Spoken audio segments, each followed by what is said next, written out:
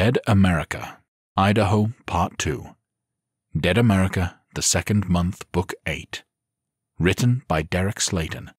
Narrated by Aaron Smith. Chapter 1 Rebuild, Day 3. Captain Kersey sat by the front window of the farmhouse, keeping watch for threats. The sun began to creep above the horizon, illuminating the light snowfall that had been going for a couple of hours. A light dusting of white powder covered the entirety of the farmland, an almost peaceful sight despite the stressful times. He took a deep breath and then turned at the sound of footsteps as Betsy approached with two cups of coffee. Thought this might help, she said with a smile as she held out a steaming mug. Kersey gratefully took it breathing in the earthy scent and letting out a happy sigh before taking a short, savory first sip. Thank you, he said. It's freeze dried instant stuff, so I know it's not ideal, she said with a light blush coloring her cheeks. But we haven't had power in weeks, so boiling water is about all I can do. He offered her a reassuring smile. It's perfect, really, he said. Reminds me of the stuff they'd pack into the MREs when we were out in the field. One of those acquired tastes, I suppose. Betsy sat down and took a sip from her own mug, wrinkling her nose a little at the taste. Kind of like the pizza you get in elementary school, she said.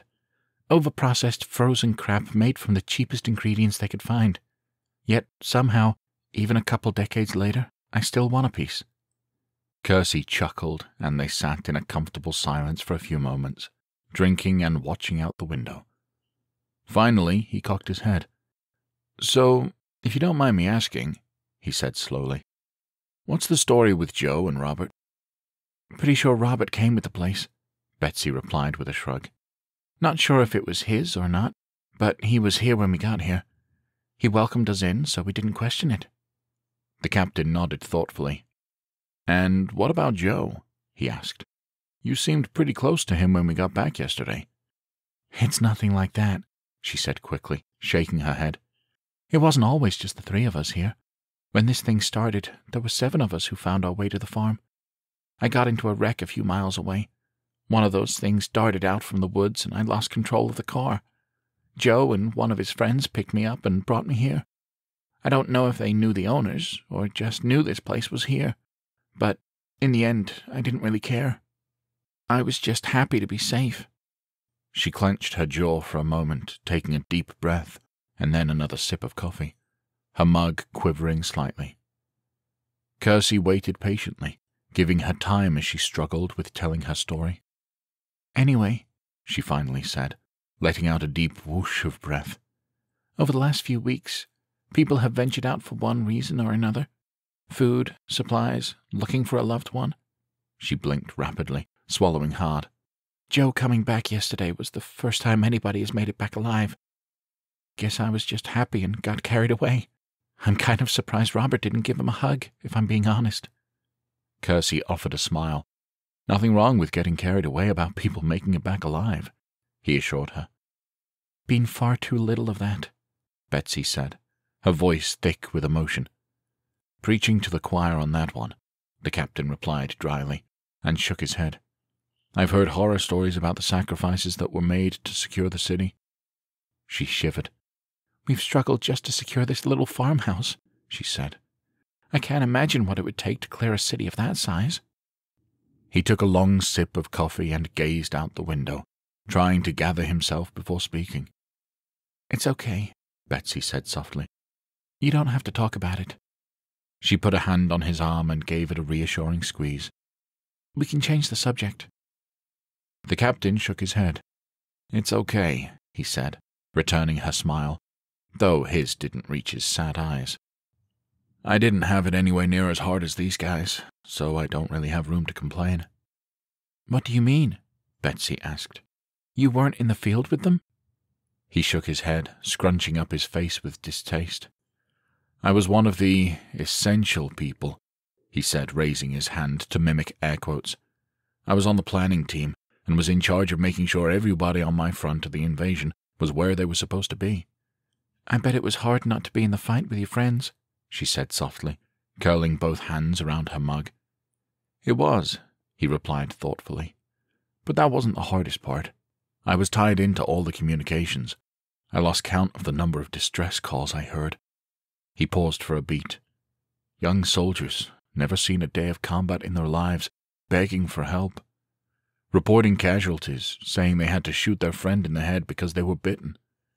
He swallowed hard. A solid week of nothing but that. It wore on me, he admitted. Betsy curled her legs underneath her. Not cut out for that kind of work? she asked. Kersey couldn't help but chuckle. I mean, they claim I am, he said wistfully. But thankfully, I'm a lot more comfortable out here in the field, drinking freeze dried coffee and roughing it.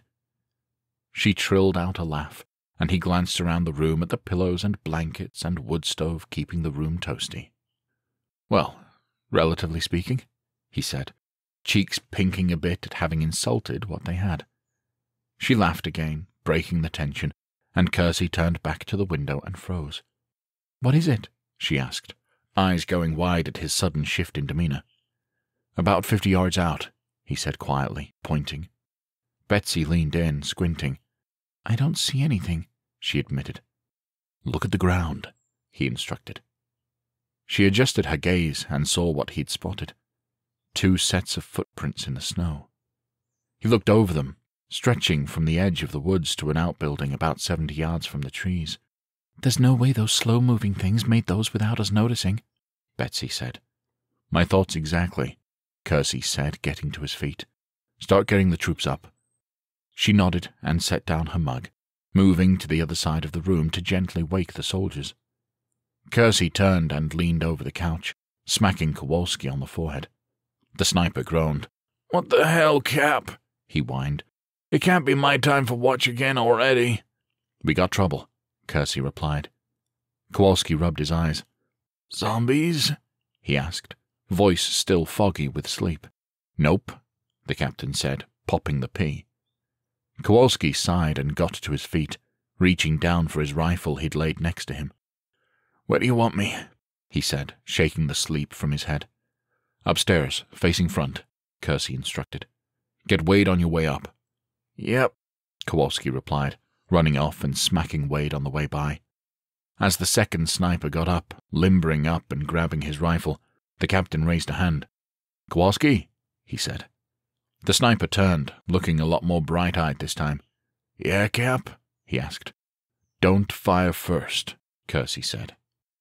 Kowalski's brow furrowed. What? he asked. You want me to wait until they shoot at us? The captain held up his gun. No, you can fire if I do, he instructed. There's a chance that they aren't hostiles. Really, Cap? Kowalski asked dryly. Kersey shrugged. Hey, it's happened before, he defended. The sniper shook his head, and he and Wade disappeared up the stairs.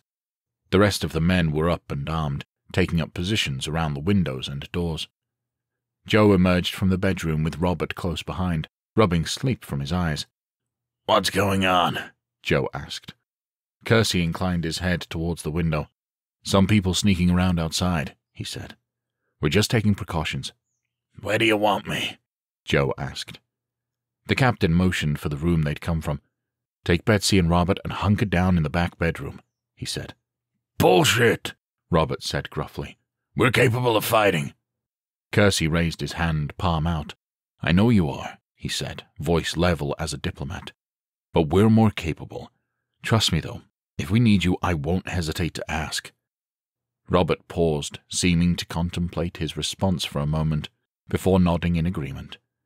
Betsy tugged on the older man's arm, and the three civilians headed into the back bedroom. Okay, people, what do you see? Kersey asked, turning back to the window. Whole lot of nothing, Cap, Moss reported. Dawson called. Nothing at the back door. I think I got something, Cap, Johnson called from the side of the house, aiming his gun at a window. Right side of the outbuilding there, coming off of the roof.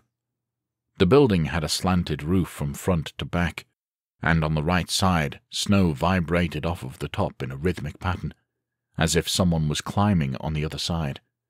Kersey moved to the foot of the stairs and whistled. A moment later, Kowalski popped his head out. Yeah, Cap? he asked. Got a climber on the outbuilding to the side of the house, Kersey replied. Shooter getting in place? the sniper asked. Kersey nodded. That's my guess, he said. Do I still have to wait before shooting? Kowalski asked. The captain shook his head. If he aims a gun in this direction, take his head off, he said. Yes, sir, Kowalski replied happily.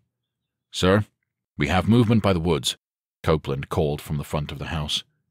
Kersey joined him, looking out at the road which had some light tree coverage on either side of the driveway. There was movement in the shadows, to be sure, and he sighed. Looks like quite the party, the captain murmured. Copeland nodded. I saw a dozen, give or take, he said. So that's fourteen we know about, Kersey replied. This is going to get ugly if we're not careful. I'm not above dishing out some wholesale slaughter, the sergeant said.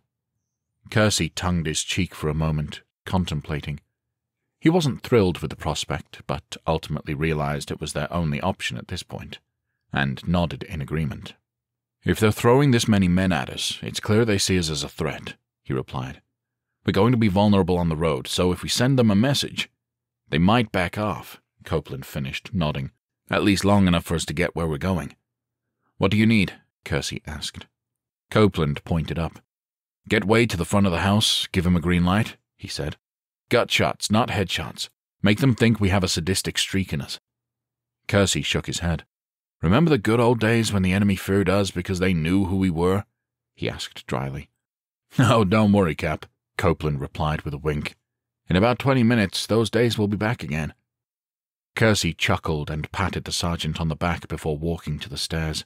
He ran up them, looking at Wade, who was with Kowalski at the side of the house. Wade, he said, waving the sniper over. Sir? Wade replied immediately. Kersey motioned to the front, Front of the house, dozen hostiles, who look to do us harm, he said. On it, sir, Wade replied. Gut shots, Kersey added. The sniper paused for a moment, looking to the captain with a questioning gaze, receiving a subtle nod in return.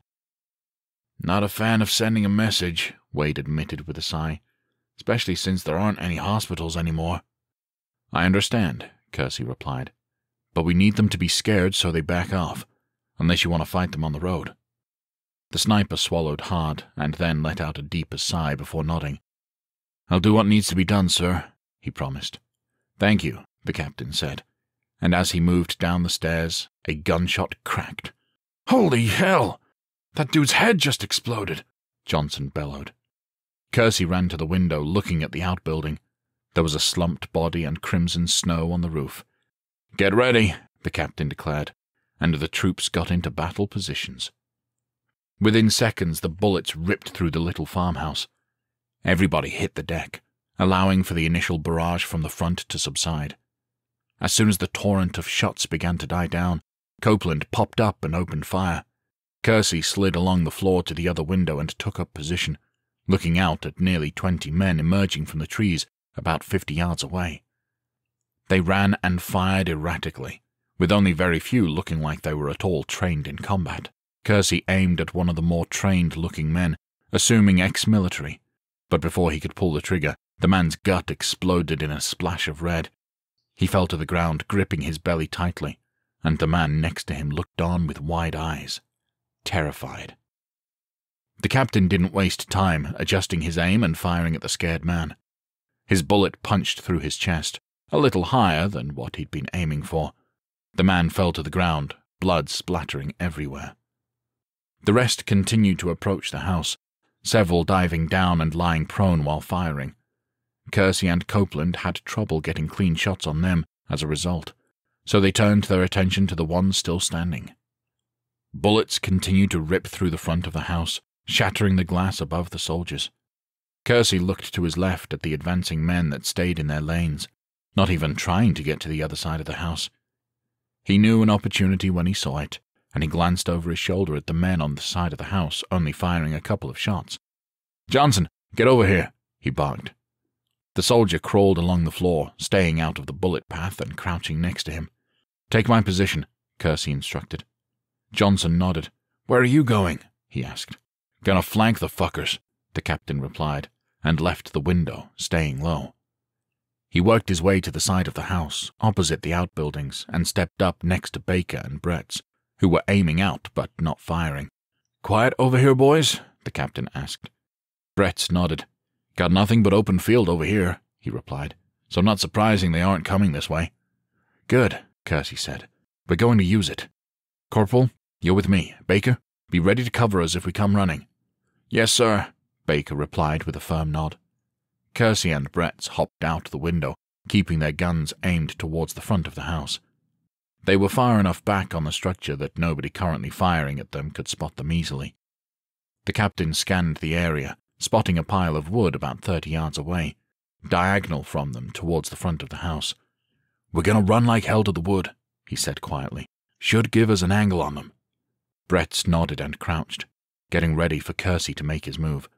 Go, the captain hissed, and they both took off running, expecting to be shot at, but relieved when they weren't.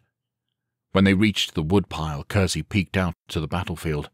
He saw half a dozen men laying on the ground, a couple dead, four holding their bellies and writhing around in pain. He spotted a trio of men taking shelter behind Joe's truck.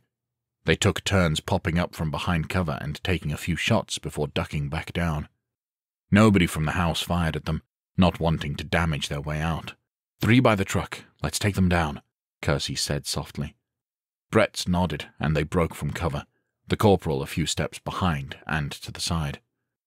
They were within fifteen yards before anyone noticed, but before they knew what hit them, a spray of gunfire dropped the three.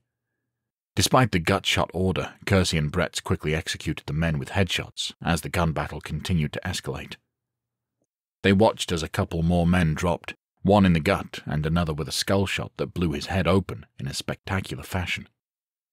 Immediately after that, a chorus of Retreat! erupted from the still standing men. Kersey counted about eight of them, firing wildly as they ran back, peeling themselves from the ground and running. One unlucky man happened to be close enough to the truck, firing back over his shoulder as Kersey popped out and grabbed the rifle before firing into his gut. The man screamed in pain and hit the ground, looking on helplessly as his men abandoned him. Bretts put a boot on the man's gun hand as both he and Kersey aimed at the fallen man. Good morning, Sunshine, Kersey said brightly.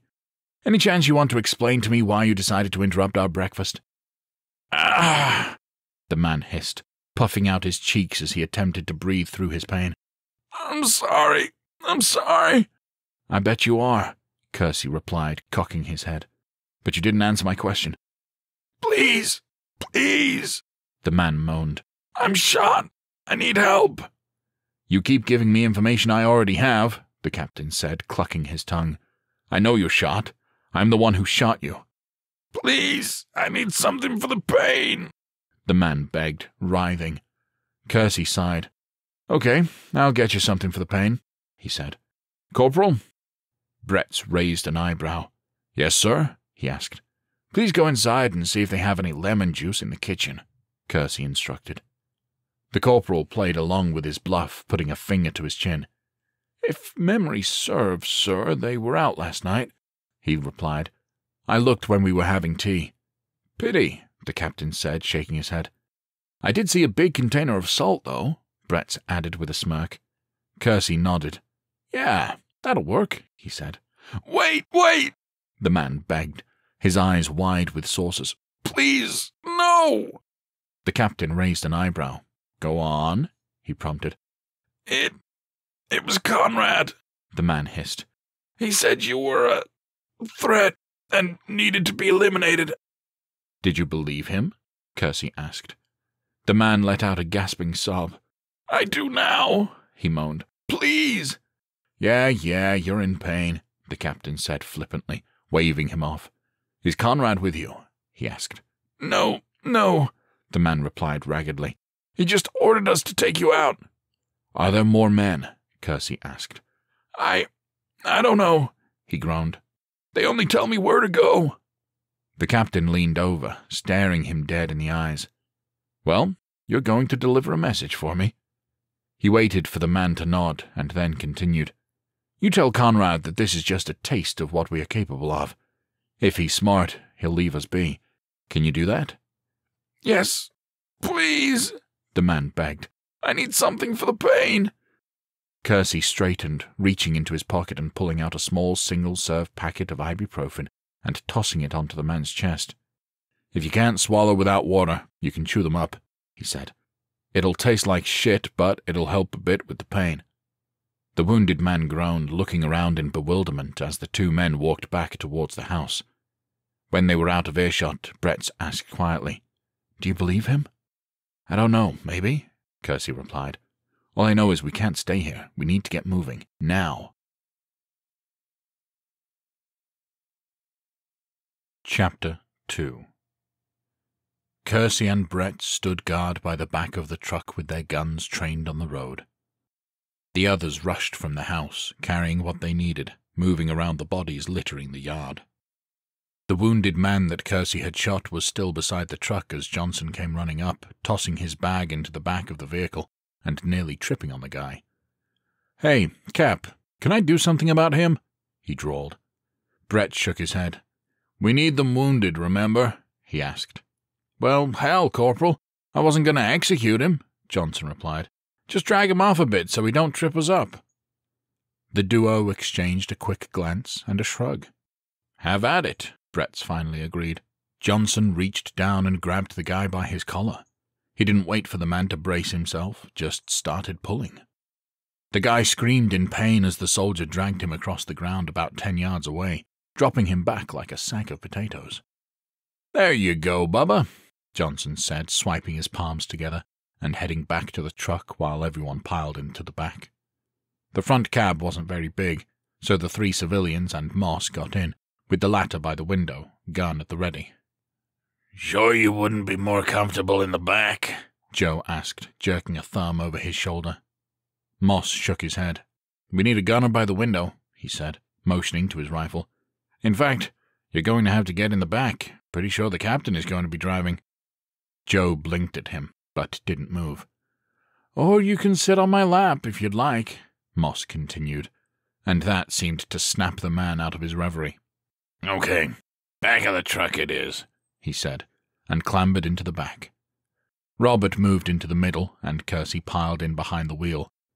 He glanced back, making sure the men had positioned themselves in attack mode, though packed in tight like sardines. Try and go easy over those bumps, Cap, Kowalski said through the back window. Gonna be rough ride back here. No promises, Kersey called back, and fired up the vehicle. He took off, ripping around the yard, trying to avoid the bodies and keep everyone in the truck bed. When he pulled up to the road, he paused and looked to Robert.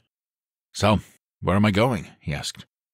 Kuna is to the southeast, Robert replied, motioning vaguely with his hand. Turn left, drive for three miles, then hang a left and straight on until we hit it. Sounds easy enough, Moss said. Kersey sighed. It always sounds easy enough, he said dryly. Moss chuckled, shrugging in agreement. The captain drove out onto the road and sped up, quickly hitting 50 miles per hour. The snow flurries had calmed down a bit, but the road was still a bit slack. It wasn't too far down the road before two vehicles peeled out onto the road in the distance behind them, headed their way. Kowalski, Copeland barked. Let the captain know we got trouble. The sniper threw open the sliding window as he surveyed the situation. Contact, six o'clock, he cried. Two vehicles, closing fast. Make sure you greet them properly, Kersey called back. Kowalski turned to Copeland and the others, raising a fist. Light the fuckers up, he bellowed. The trio at the back readied their weapons as the trucks gained ground, and within moments they were within a hundred yards. Wait until you can see the drivers, the sergeant instructed. The other soldiers waited patiently for the trucks to get within firing range. The enemy wasn't as patient, and two gunmen stood up in the backs and began to fire towards them. The soldiers in the truck ducked down slightly, but didn't get too worked up, knowing that at that distance the amateur gunmen were unlikely to hit their target. The trucks continued to speed towards them, and then finally Copeland could see the driver. He took careful aim and squeezed the trigger, sending a round right through the windshield. He wasn't sure if it struck the driver, but the reaction to the glass shattering caused the man to swerve violently. The tires skidded on the wet snow covering the pavement, but unfortunately managed to get control of the vehicle again, despite sending one of the gunmen flying from the back. The man flew through the air, landing on a barbed wire cattle fence. It wasn't a kill shot, but it was one less person shooting at them, which was all Copeland cared about. The other ones sped up their firing rate, with some bullets hitting the back of their vehicle. Let 'em have it, the sergeant bellowed, and the three soldiers opened fire, sending a torrent of lead back down the road. The enemy trucks took heavy damage, with the engines beginning to smoke and the windshields quickly becoming cracked. One truck quickly lost steam, rapidly decelerating, while the other began to swerve violently from side to side. Copeland got a brief view of the cab, seeing the passenger reaching over for the wheel. A few seconds later, the truck careened off the road, going into a ditch and flying airborne out the other side. It landed several yards in the field, nose first, flinging the gunman in the back twenty yards into the frozen air. Everybody good? Copeland asked, looking around as the men breathed a sigh of relief and gave him a thumbs up in response. The truck came to a quick stop, sliding along the slick road.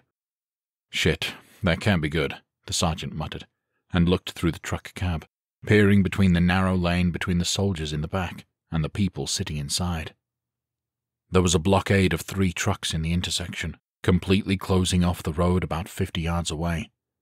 Nobody fired from the blockade, however.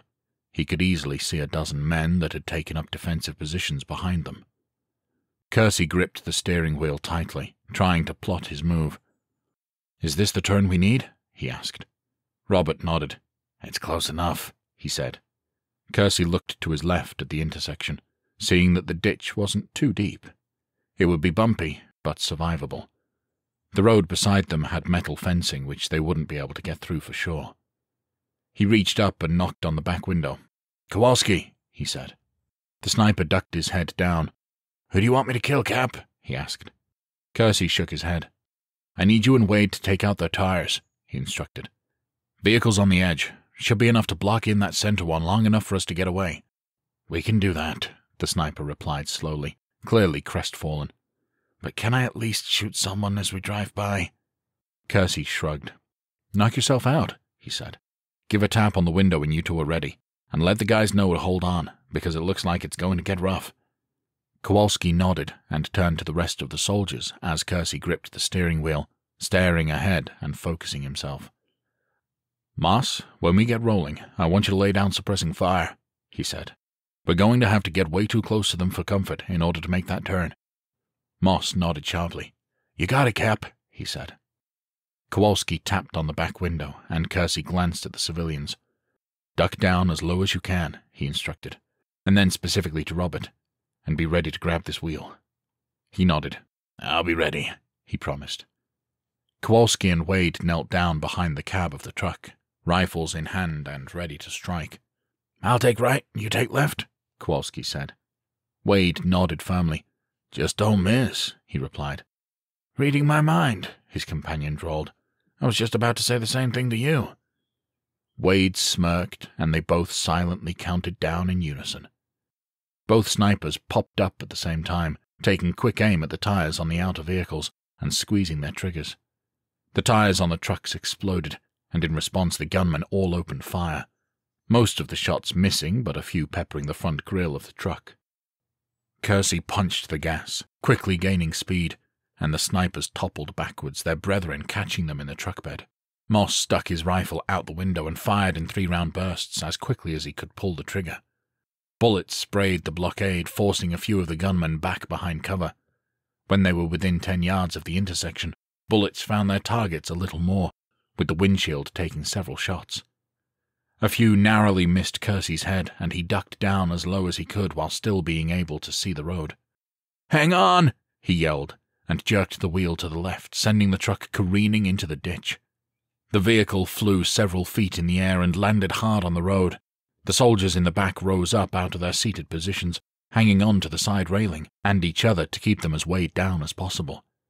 As soon as they were settled, they sent a few rounds back towards the barricade, keeping the gunmen at bay, so they couldn't move the disabled vehicles to get the last remaining one in pursuit. About a mile up the road, Copeland finally relaxed his shoulders from his tense firing position. I think we're good, he said, looking around. Everybody okay? There was a smattering of affirmative noises as the soldiers inspected themselves for damage. Kowalski ducked down and looked in the cab, eyes widening when he noticed the front windshield was splinter-webbed with bullet holes. Jesus Christ, is everybody okay up there? he cried. Kersey kept an eye on the road as he quickly glanced at everyone in the cab. Amazingly enough, I think we are, he said. Just a little pissed off, Robert added gruffly, but otherwise good. What happened, Kowalski? Moss called back in a teasing voice. I thought you were going to wipe them out as we went by. Well, I was planning on it until the captain here decided to pull an Evel Knievel and try to jump the goddamn Grand Canyon, the sniper retorted. Kersey rolled his eyes. We didn't get that high off of the ground, he drawled. Says the man who is firmly secured inside the cab with a seat belt, Kowalski shot back. Laughter erupted throughout the groups inside and out, everyone finally relieving the tension with a bit of levity, having survived another encounter with the Chosen. So how much farther is this place? Kersey asked. Robert motioned with his hand. Just stay straight for about fifteen miles, he said. Won't be able to miss it. Kowalski, make sure everybody back there stays frosty, the captain instructed. If there are more patrols, I don't want them to get the jump on us. The sniper nodded and turned to deliver the instructions, while Kersey stayed focused on the hopefully easier road ahead. Chapter 3 When the truck grew close to the city limits, Kersey slowed down, looking for signs of life. They crept along the road, hundreds of corpses lined up along the side of it.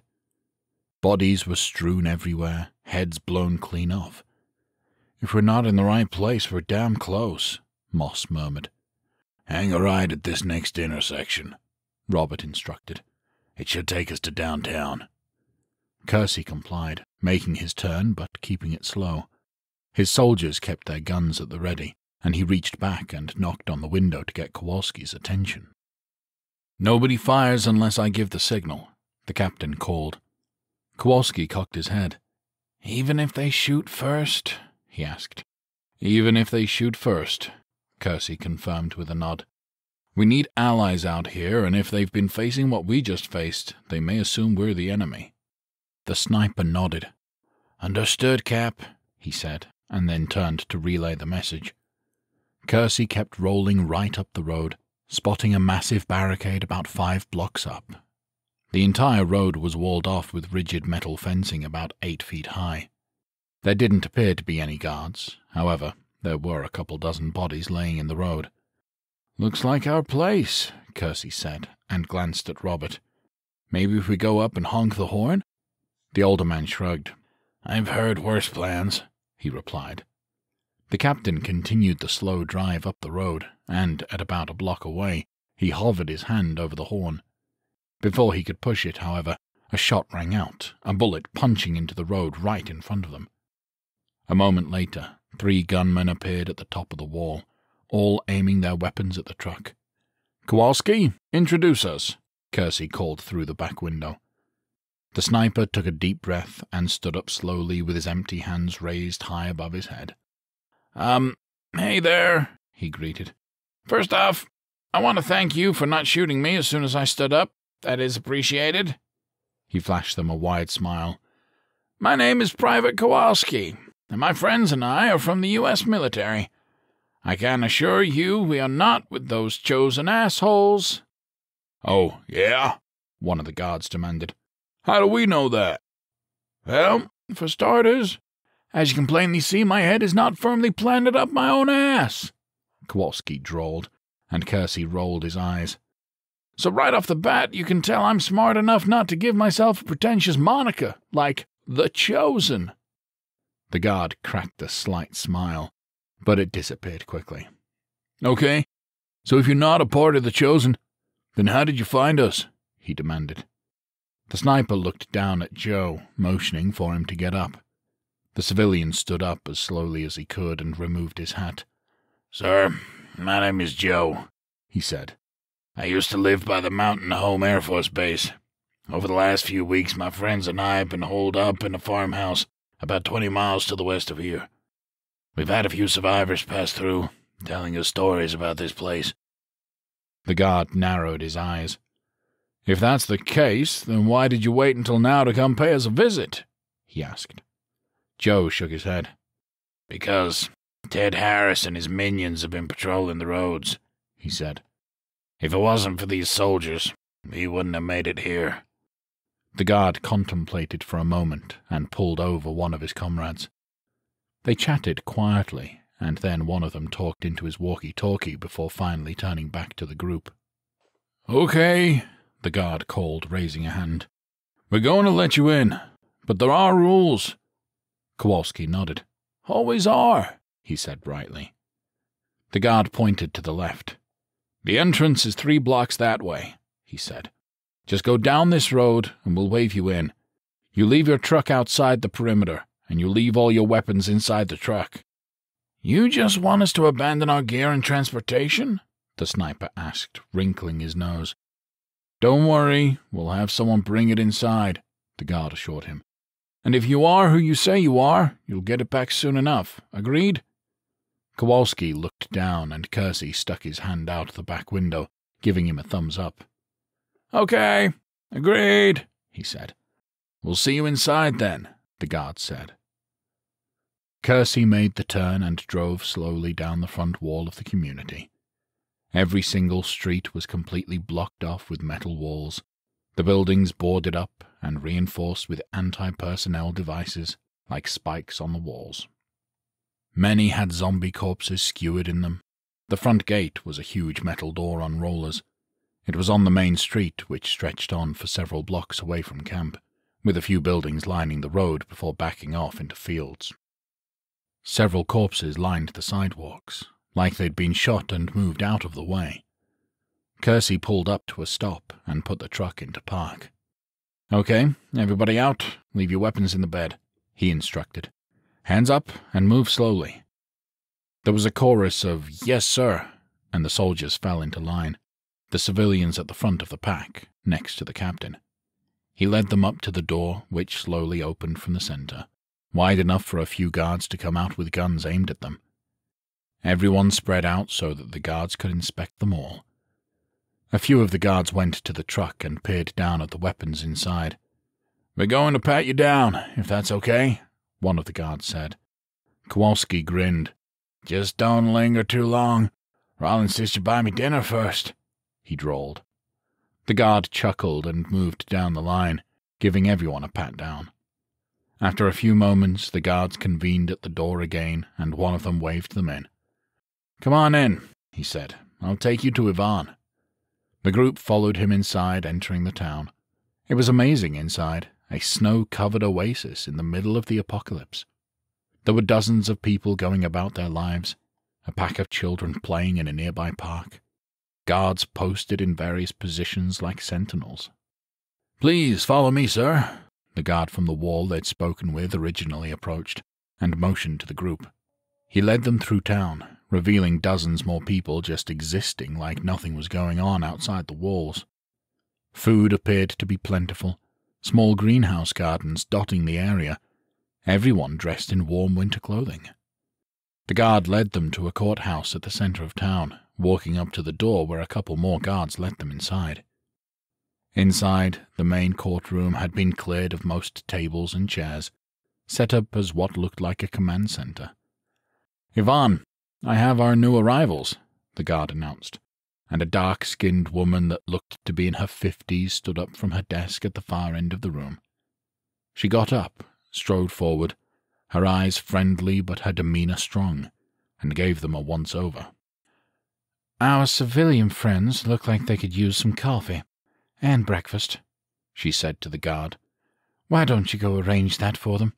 I'd like to have a nice little chat with our military friends here. Yes, ma'am, the guard replied. Kersey glanced at Robert, Joe, and Betsy, giving them a nod to let them know it was okay for them to go. Yvonne put a hand on her hip and leaned the other on her desk, waiting until the others were gone and the door closed before addressing the soldiers. Well, it only took a month for you to show back up after abandoning us in our time of need, she said dryly. It can only mean one or two things. Either you boys are really, really lost, or you think there's something this town has that you can take. You are correct, ma'am, Kersey replied politely. She nodded. If I had to venture a guess, I'd say you boys are running low on bullets, she said. Can't imagine invading Seattle was kind to your supplies.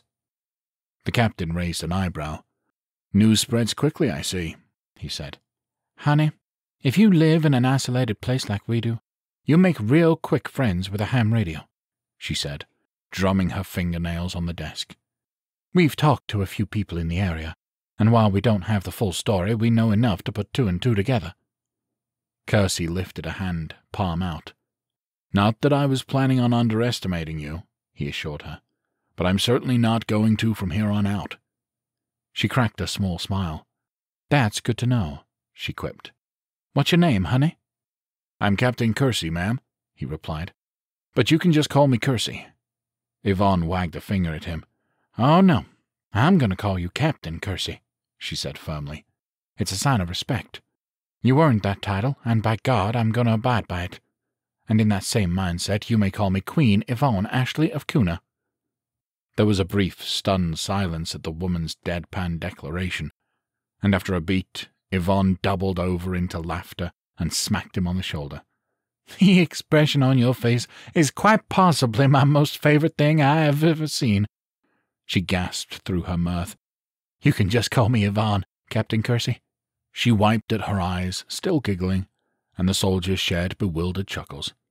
Thank you, Kersey said. She finally composed herself and took a deep breath. So, what do you want to know, Captain? she asked, leaning on her desk more casually, motioning to herself up and down. I'm an open book. How big is your camp here? he asked. She tilted her head back and forth. We've been too busy to do an official head count, she said slowly. But we're somewhere around a thousand people. Kowalski let out a low whistle, impressed. She nodded at him, eyebrows raised. You damn right, honey, she drawled. It's been like herding cats to get everyone to work together. Granted, it became a little easier once we started having run-ins with the Chosen. They been causing you trouble? Kersey asked. She sighed. At first, it was just some skirmishes when my people were making supply runs, she said. Then they decided to get bold and hit us here. You know all those bodies in the streets you passed while coming into town? The captain cocked a brow. Yeah? he asked. Only about half of them were zombies, Yvonne replied, shaking her head. My people don't mess around, especially when it comes to our safety. Kersey pursed his lips. So why did they want to hit this place so hard? he asked. Well, she trailed off with a ghost of a smirk, dragging out the word. We may have cleaned out a supercenter distribution warehouse. Got enough food to last us months, more than enough time to get our own food growing. Kersey nodded slowly, impressed. Sounds like you have everything under control, he said. She wagged a finger at him again.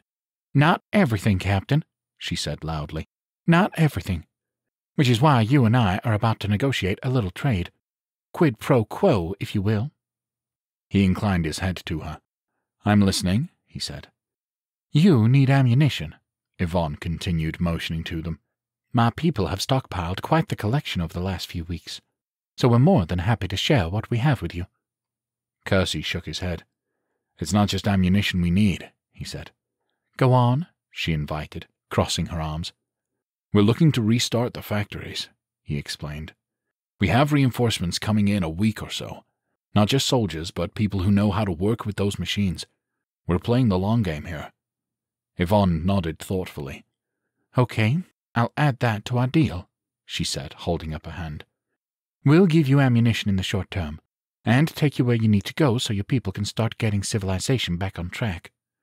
And as a free sweetener, some of my people here in town used to work at those factories. I'll make them available to your people when the time comes.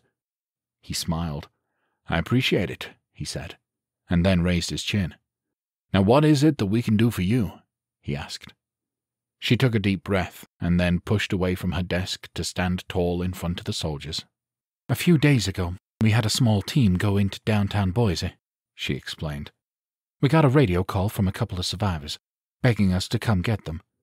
I sent four of my best men to go get them, but they became trapped in an office building. She sighed. We were preparing another team when the Chosen upped their patrols, forcing us to retreat. I was going to make another desperate push into town to get them, but since you're here. You'd like us to go rescue your people? Kersey finished. She grinned widely at him. If it's not too much of an inconvenience, she said sweetly. The captain chuckled. I think we can arrange that, ma'am, he said. Oh, and cut it out with that ma'am stuff, Yvonne drawled with a flippant wave of her hand. Every time one of you youngsters calls me that, it makes me feel old. Yvonne is just fine, honey. He laughed again. You got it, he said. Before the soldiers could move out, a torrent of gunfire erupted from outside, and they all stiffened. Yvonne raised a hand to calm them down. Everyone chill out, she said loudly. We put a whooping on the Chosen, so they aren't going to be stupid enough to try another raid this quick. She grabbed a walkie-talkie from her desk. But if it'll put your mind at ease, she clicked the button on the side of the device. Status report. Hundred. Hundred and fifty ghouls on the eastern wall. A male voice came back through. Hold your fire, she instructed. Yvonne? he asked, confused. You heard me, she said with a smirk. Just going to be a couple minute break. I want to show you boys off to our new friends. Holding fire, came the reply. Yvonne lowered the radio and motioned for the soldiers to follow her. Come on, let me show you something, she said. They walked out of the building and followed her over to the eastern wall. As they approached, they spotted eight foot high walls with a system of ramps leading up to stations every ten feet or so.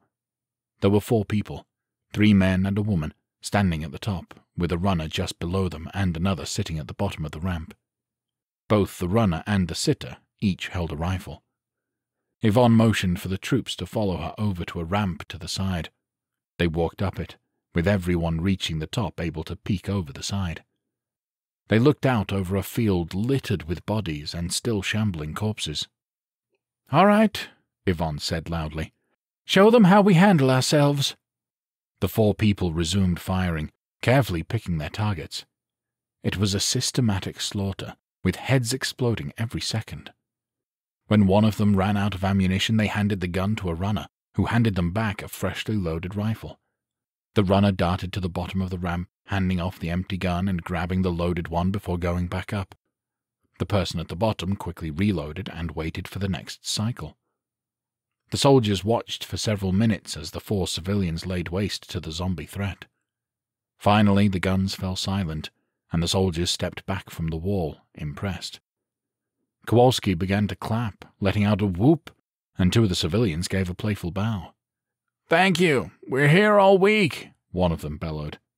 Kowalski grinned and pointed to him. I like that guy, he declared. Most of his companions rolled their eyes as they moved back down the ramp.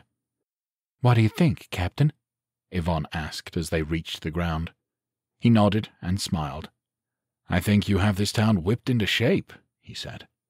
I do my best, she replied with a wink, and then raised the walkie-talkie to her lips again. Zeke, can you meet us by the Eastern Armory? she asked into the device. On my way, a man, presumably Zeke, replied. Come on, let's get you geared up, she said. Kersey raised a hand. We are pretty well supplied, he said. Trust me, you can always be better supplied, she quipped. Kersey and Bretts shared a glance, and the corporal shrugged as they followed her a few blocks over to a storage building. A man in his mid-twenties stood there next to the open front door and grinned as they approached. Welcome to the candy store, gentlemen, he drawled, stepping aside so Yvonne could lead them in. The room was wall-to-wall guns, ammunition, and other goodies. Hunting rifles, assault rifles, even a couple of heavy-duty machine guns. There were several wooden crates filled with makeshift explosives, such as pipe bombs. Kersey turned around in a slow circle.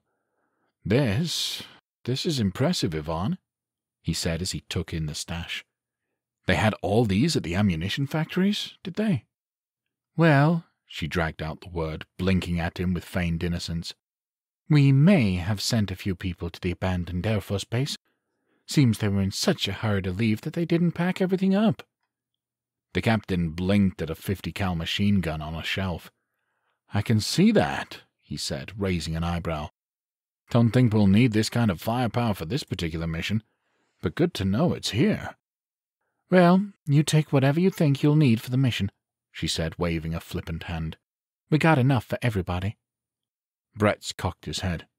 What kind of resistance are we looking at? he asked. Zeke, you talked to them last. Yvonne turned to the man who'd let them in, and he nodded. They are in a three story building near downtown, he explained. At a minimum, the bottom floor is completely infested, most likely the second floor as well. Place is run down and was slated for demolition, but the apocalypse put that on hold. Kersey crossed his arms. Chosen? he asked. Zeke nodded again. Most likely in the area, he replied. They had to black out the windows because someone kept taking pot shots at them. How many ghouls? Bretts asked. Few hundred in and around the building, Zeke said. But it could easily be thousands if the noise ramps up. A lot of those things have wandered out of downtown, but a lot stayed behind. The corporal nodded thoughtfully. Nothing the nine of us can't handle, he said. Nothing four of us can't handle, Kersey corrected. Bretts and Yvonne eyed him in confusion. Captain, don't go shortchanging me now, she said, drumming her fingernails on a nearby shelf. I need my people back. He raised a hand, palm out. And we'll get them, he assured her. But since we riled up the Chosen to get here, I want to leave some of my men behind to help you out in case they come looking for us. Did you not see the display we put on for you? Yvonne asked, waving a hand around her head. We're prepared for them. He nodded, offering a placating smile. I did, he replied. But to paraphrase what you said, you can always be better prepared. With what we have in this room, we can fortify this place so that nothing will get in. And if you clear this place out, we have two other rooms that look about like this, Zeke added. Kersey gaped at Yvonne, and she smirked and shrugged. Your Air Force left behind a lot of stuff, she said sheepishly. The captain chuckled, shaking his head and turning to his men. Kowalski, Moss, Baker, you're going to be with me, he said. The rest of you coordinate with Yvonne and get this place ready to push off a full-scale assault. There was a chorus of, Yes, sir, as the soldiers stocked up on supplies. Kowalski pocketed a few pipe bombs, and Baker furrowed his brow. You're a sniper, he said, giving his arm a playful shove. What the hell are you going to do with those? Kowalski shrugged. Same thing anybody would, he quipped. Blow shit up. Captain, I'd like Zeke to tag along with you, Yvonne said, and Kersey shook his head. That's not necessary, he insisted. Zeke raised his chin. I've lived in Boise my whole life, right downtown, he said. I know the area like the back of my hand. Hiding spots, escape routes, you name it. And if you're worried about whether or not I can handle myself well, Zeke here is one of our top scouts, Yvonne cut in. Goes out on his own, scopes out what we need, and always comes back in one piece. The boy can handle himself. Kersey sized him up and then approached him, his voice deadly level. Just so we're clear, if you come with us, then you're officially drafted into the military. He pointed a finger in the younger man's face. Which means you do what I say when I say it, understood? Zeke nodded firmly. Yes, sir, he said.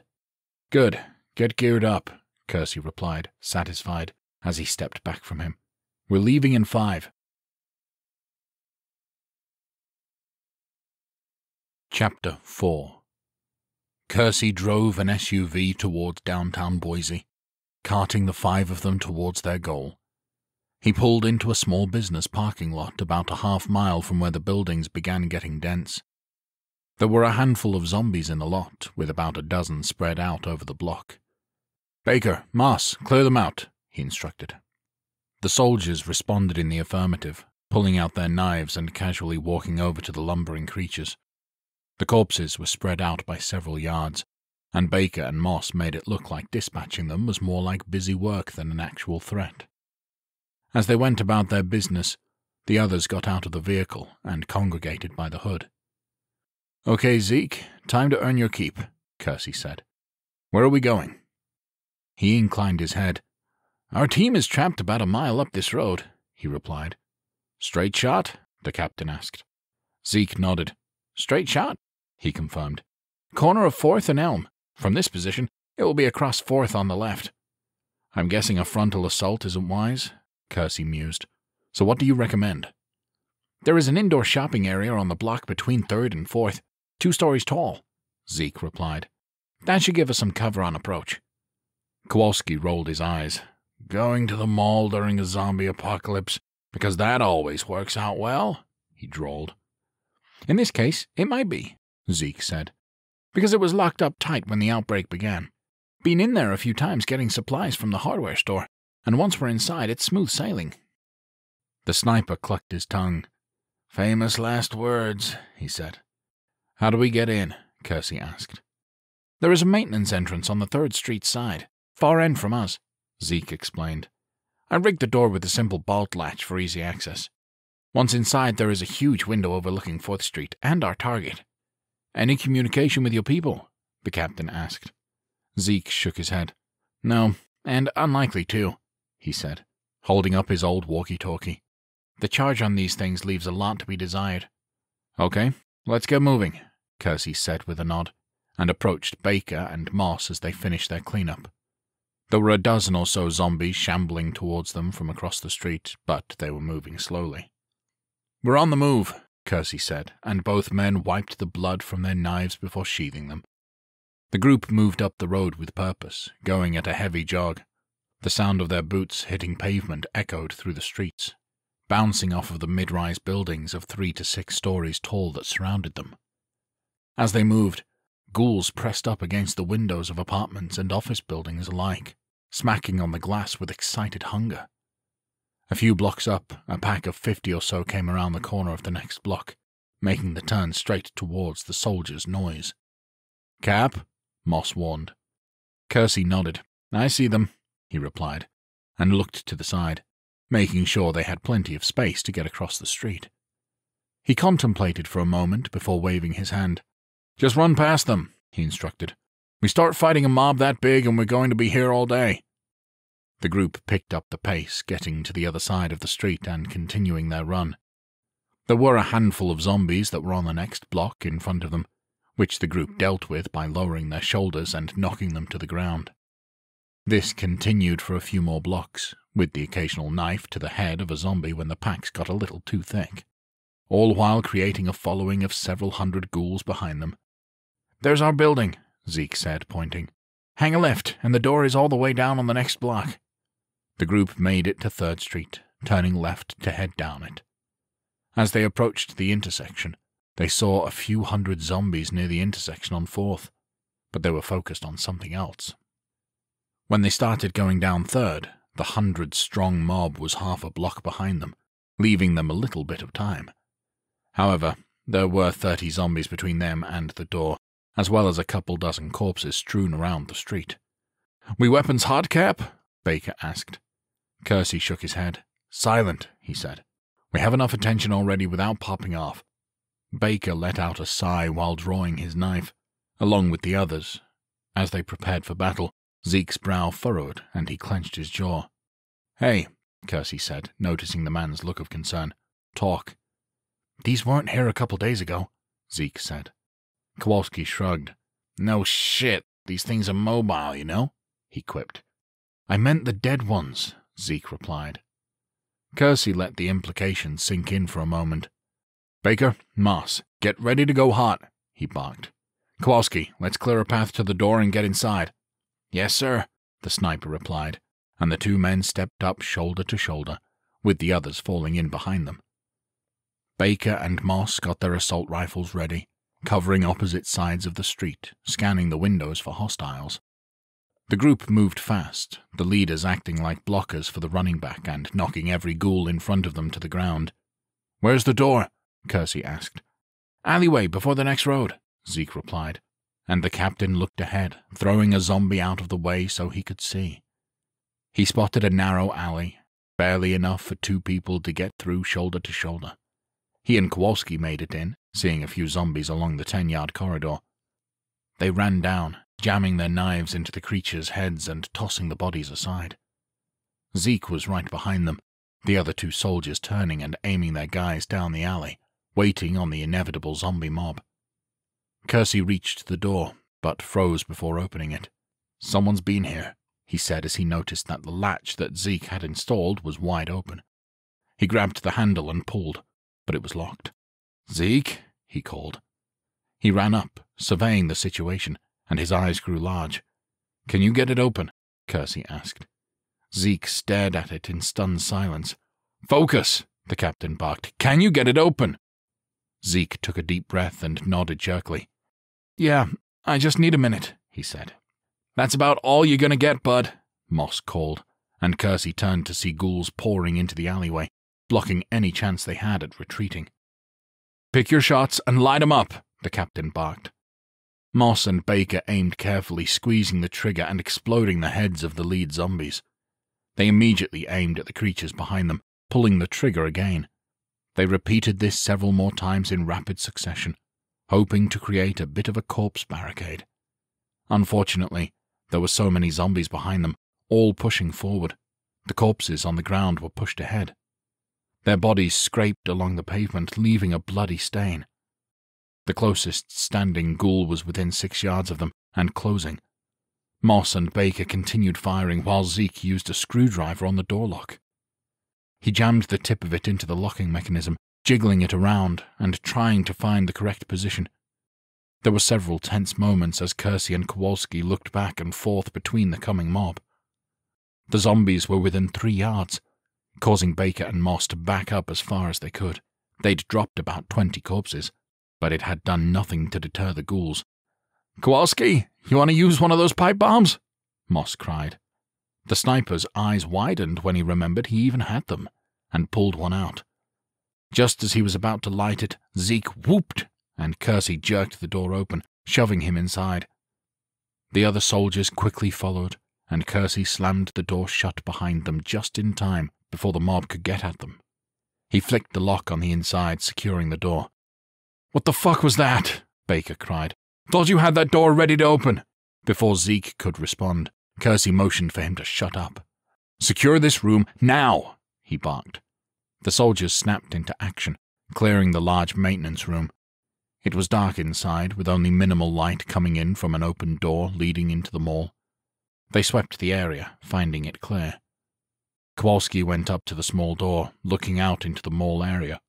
There were dozens of stores, most of which had their gates closed. The second floor was open in the center, with a large walkway around the exterior. He scanned the area, looking for any signs of movement, but found none.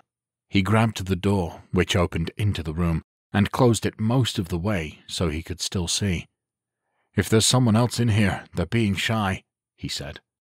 Kersey nodded. Keep watch while we figure out our next move, he instructed. On it, the sniper replied. How do we get up to the second floor? Kersey asked, turning around. There are two ways, Zeke replied. There is a double escalator in the center of the mall. The captain shook his head. Sounds a little too exposed for my taste, he said. There is a fire escape in the corner, back the way we came, Zeke said. Kersey nodded. Okay, that's the way up, he said. We have to assume there are hostiles in the building, so before we start figuring out how to get your people out, we have to clear this space. He paused, contemplating for a moment, and then glanced over at Zeke and pointed at the holster on his side. You know how to use that thing? he asked. I'm halfway decent at ten yards, Zeke admitted. Assuming the target isn't shooting back at me, that is. Kersey nodded thoughtfully. Better than nothing, I guess, he murmured, and walked over to the door that Kowalski stood sentinel at.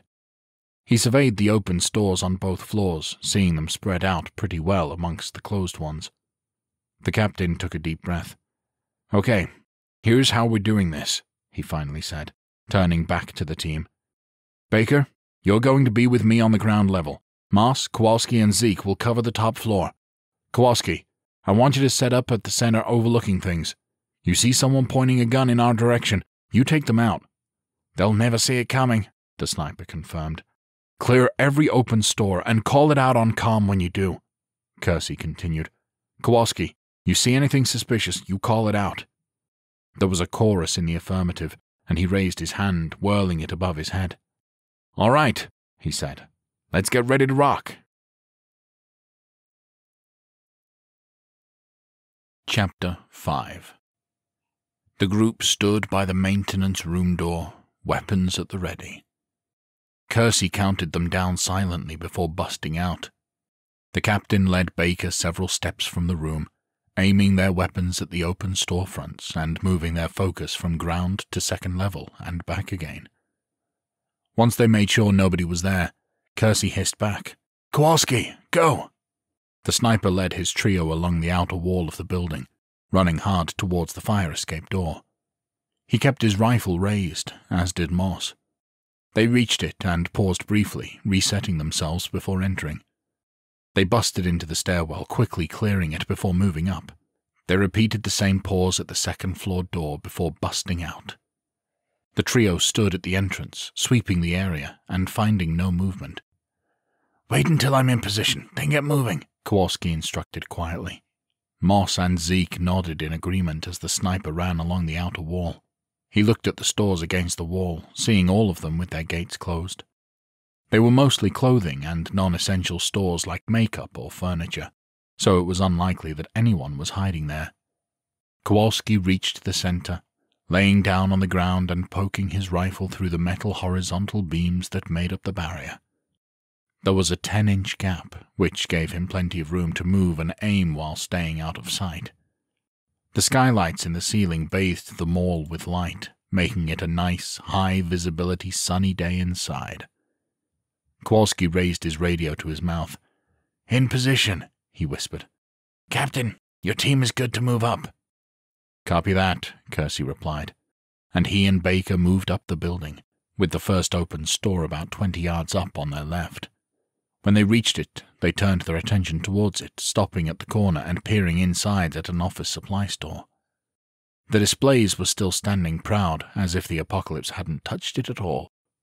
Kersey motioned for Baker to go in while he covered him, and the private moved up, leading them both quickly through the aisles and to the back room. When they reached the storage area, Baker threw the door open and cleared it. First store, clear, Kersey said into his radio as they moved back to the mall proper. Copy that, Kowalski replied. Your next target is near the escalators in the center of the mall. Hold position. Moss, move up. He adjusted his aim to the right to cover Moss and Zeke as they moved up the right side. The first open store was about a quarter of the way up, and full of tents and camping gear. They followed the same example that Kersey had set out, pausing at the edge of the doorway and peeking in. Moss glanced back at Zeke. You go in first and I'll cover you, he said quietly. Sweep the area and get to the back of the store. Zeke nodded and moved inside, finding the store ransacked displays boasting winter clothing, jackets, tents, camping gear, all empty. We didn't do this, Zeke murmured. Moss nodded. Understood. They focused on the back storeroom door and then busted in, clearing it quickly. Moss raised his radio to his mouth. This position is clear, he said. Okay, Captain, Kowalski came back. Looks like you're up he swallowed the rest of his words when he spotted movement on the second floor. About two thirds of the way down on the right, three heavily armed men emerged from a store, moving quietly with assault rifles raised. Kowalski, report, Kersey said. Got a trio of assholes trying to get the drop on Moss and Zeke, Kowalski replied tightly. Kersey and Baker moved to the edge of the store, peeking out to look for the movement up above. Can you take them out? the captain asked. I have a shot on the leader, Kowalski replied. But as soon as I shoot, they're going to take cover.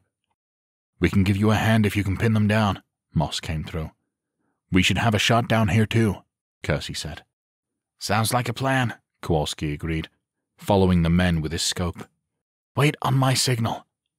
He tracked the leader, the gunmen totally oblivious to him.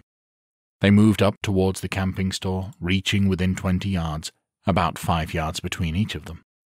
Here we go, Kowalski murmured, and then took aim, putting the leader's head squarely in his sights. The man moved slowly with his weapon raised, making him an easy target. The sniper squeezed the trigger, watching the man's head explode through the scope, dropping his corpse to the ground. The two others immediately dove for cover, one against the wall in a store and the other behind a metal trash can at the corner of a crosswalk between balconies. Kowalski tried to line up another shot but was unable to get a clean look. I don't have a shot, he said into the radio, and ducked down as much as he could as the gunman began to fire at him. They weren't very accurate, but the bullets were too close for comfort. Moss poked his head out of the camping store and took aim at the man in the crosswalk. He fired a three round burst, peppering the man with bullets and riddling him with holes. The gunman by the store aimed towards the soldier, who ducked back out of sight. Kersey aimed carefully between the metal posts of the railing, but before he could pull the trigger, there was a crack of bullets, and Baker grabbed the back of his shirt, dragging him back into the office supply store. Kersey let out a deep whoosh of breath. Thanks, he said. Baker nodded and moved up to the storefront, peering down the mall on their side. Four gunmen moved up, taking up defensive positions by trash cans and other displays, with the closest being 30 yards away. Kowalski, we got four hostiles pinning us down, Baker said into his radio. Can you get a shot? The sniper flattened himself behind cover as the gunman on the second floor fired at him again. If this asshole will stop shooting at me, he hissed back. I'm on it, Moss said, and peeked out with his rifle to try to take a shot, immediately pushed back by gunfire. He clenched his jaw and then turned to Zeke. You trust me? he asked. His companion shrugged. I did before you asked me, he replied. Moss smirked. Usually the way that works, he quipped. Zeke sighed. What do you need me to do? Moss inclined his head. Run as hard as you can to the railing straight ahead, he said. And then? Zeke asked. Run straight back over here before someone from the first floor shoots at you, Moss replied. Zeke swallowed hard, the wheels turning in his head, but then nodded and got in a sprinting position five yards from the front of the store. Go! Moss cried. Zeke took off like a shot, running as hard as he could, and let out a scream as he reached the open mall. The enemy gunman was startled, turning his attention towards the crazed civilian.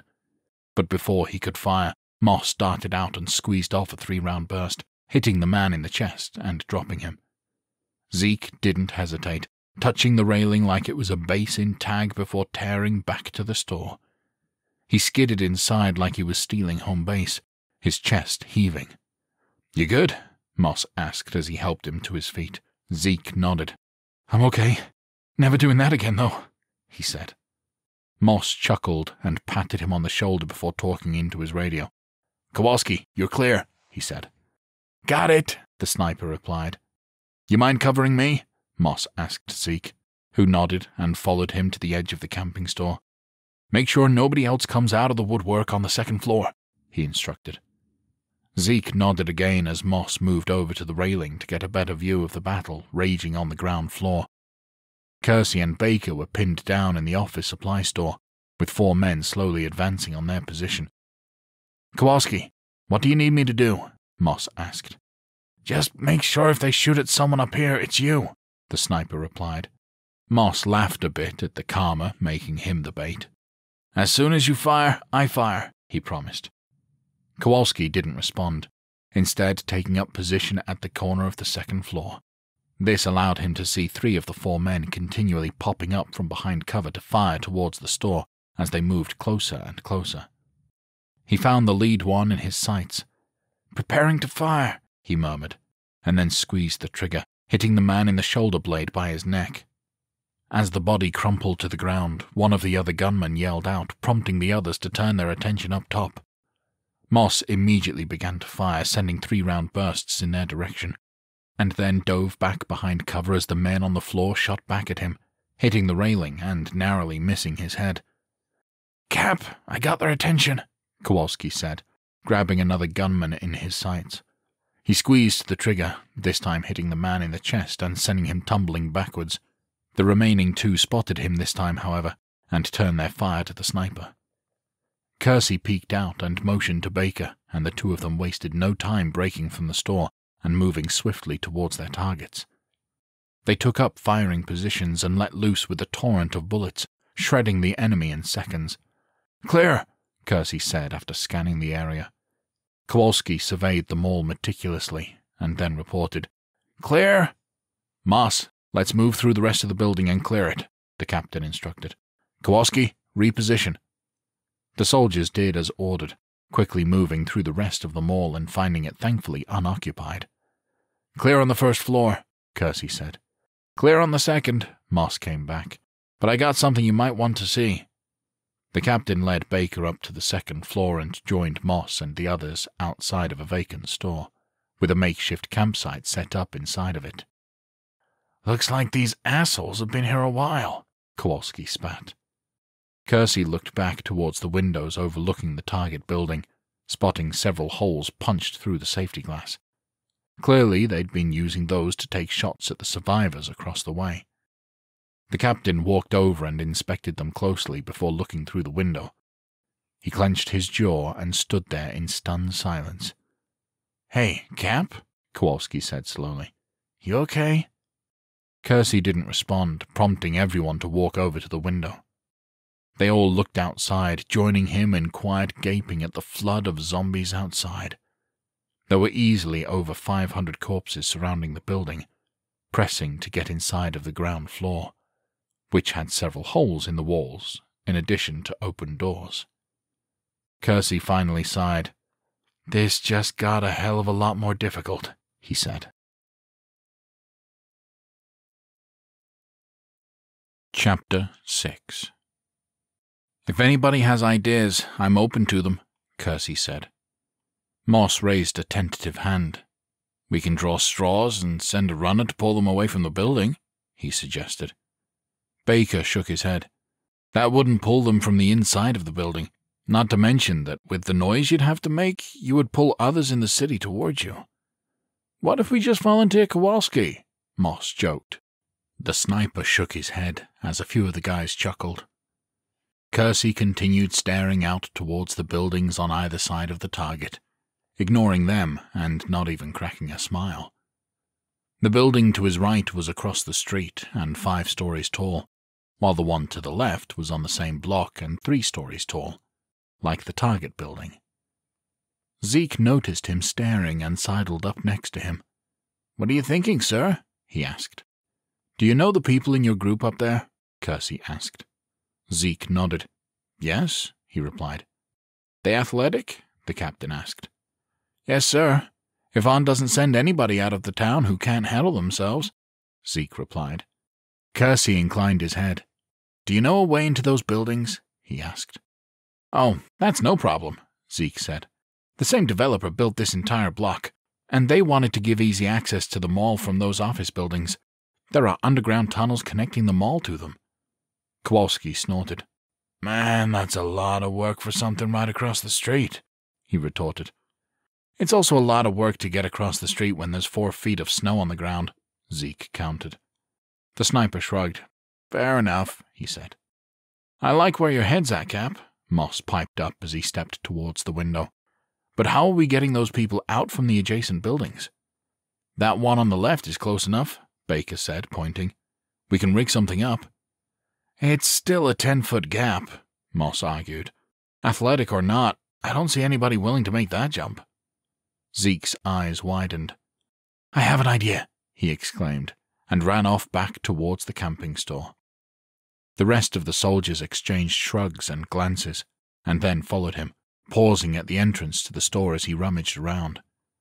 This place was pretty well ransacked, Moss said, hooking a hand into his belt. What are you hoping to find? Zeke shook his head as he walked down an aisle that was mostly intact. It was looted for things they thought would be useful, he called over his shoulder. Tents, jackets, stuff like that. He scanned the shelves, finally grabbing a pack of something and returning to the others. I didn't think this would be high up on their list, he said, and tossed it to Kersey. The captain caught the package, a hundred feet of climber's rope. I think he might be onto something, he said with a grin and tossed it over to Moss.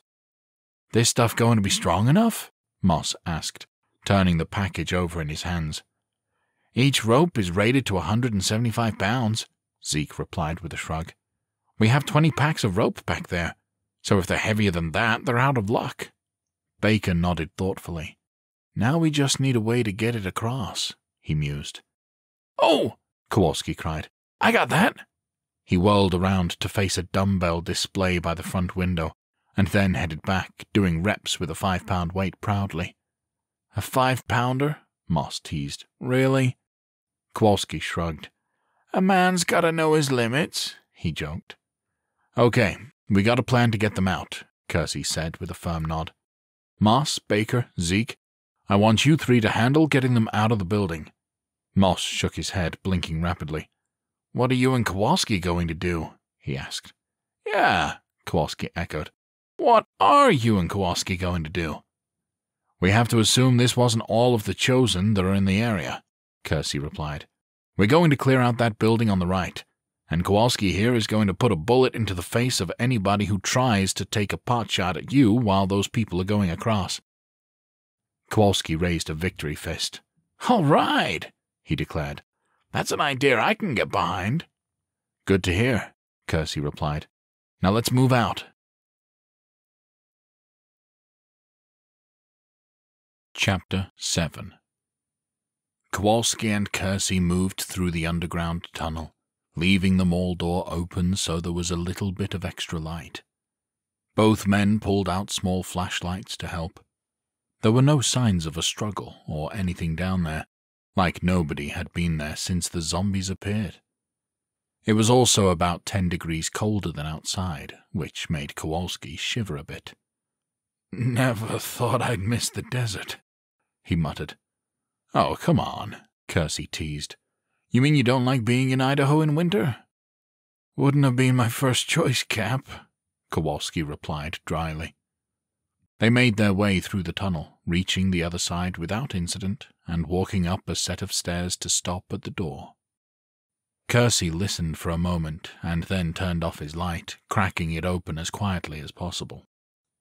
He peered through the crack into the lobby seeing that it was completely still, with only the faint sound of moans coming from the outside.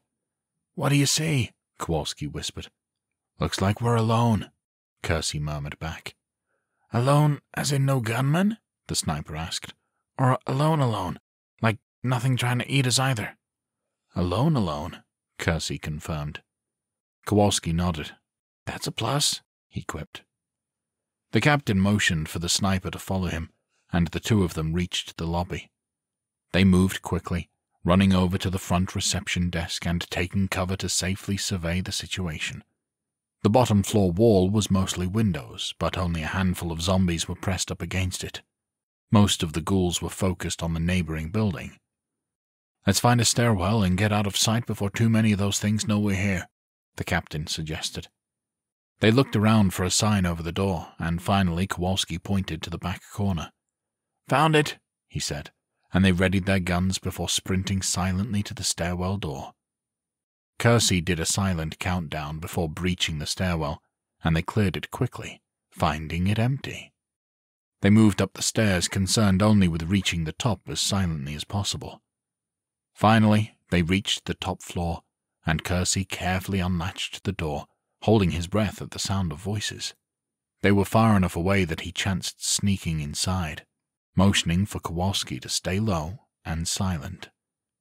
They carefully closed the door behind them and took cover behind the row of cubicles that stretched across the entire floor, staying low as they listened carefully. Kersey heard two on his side and held up two fingers to Kowalski, who responded with three fingers for his side. The captain drew his knife, and his companion did the same, even though he wrinkled his nose, looking unhappy about it. The soldiers split up, heading towards the outer walls, listening for footsteps while the gunmen chattered amongst themselves, occasionally firing off a shot. Kersey poked his head up over a cubicle wall, seeing that there were two men sitting in front of a blown out floor to ceiling window with hunting rifles pointing at the neighboring building. Another man stood behind them, slapping them on the back and laughing. Another man headed in his direction, and Kersey ducked back down and curled into a cubicle. He waited for the man to walk about and towards his hiding spot. He waited for the exact right moment and then lashed out, grabbing the man by the mouth and jerking him down to the ground, stabbing him in the jugular.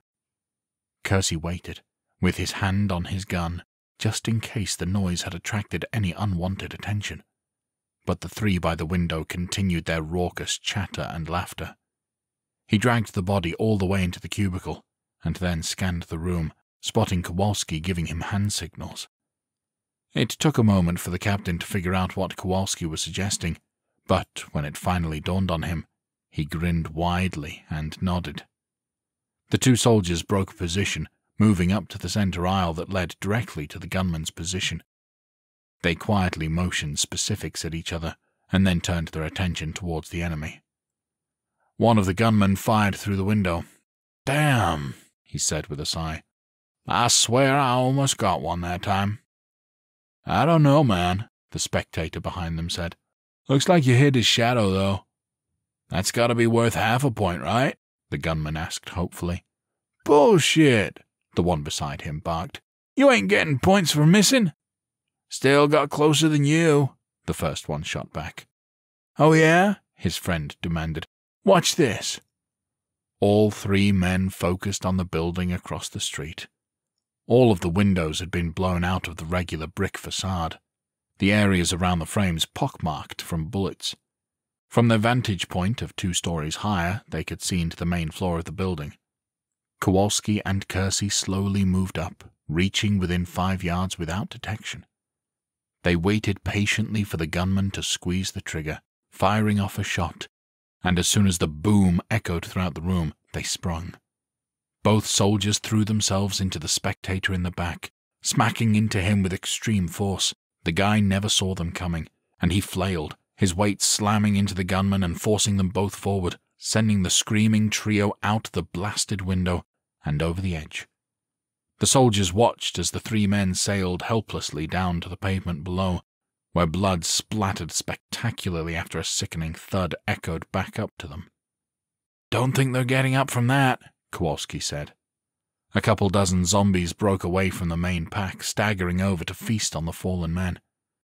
Even if their brains survived, I don't think they'll be in any condition to run, Kersey mused. Kowalski shrugged. Let's hope at any rate, he said. What do you say? Kersey asked. Want to see if anybody is home? The sniper nodded and put two fingers in his mouth, letting out a deafening whistle. Hey! he cried. You in the building over there? Anybody home? There was no answer, and after a moment he let out another whistle. I said, is anybody home? Kowalski bellowed. Yvonne sent us to get you out. There was movement in one of the windows, and a young man crawled into sight along the ground. He took up a seated position beside the wall, his face out of sight. Who are you? he called. We're friends of Yvonne and here to get you out, Kersey yelled back.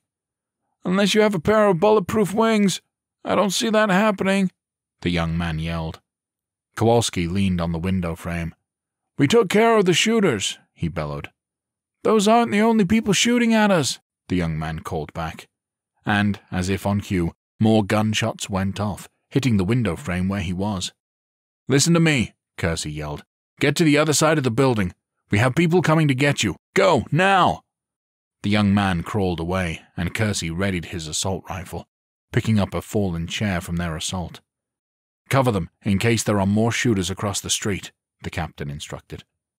Kowalski raised an eyebrow. Where are you going? he asked.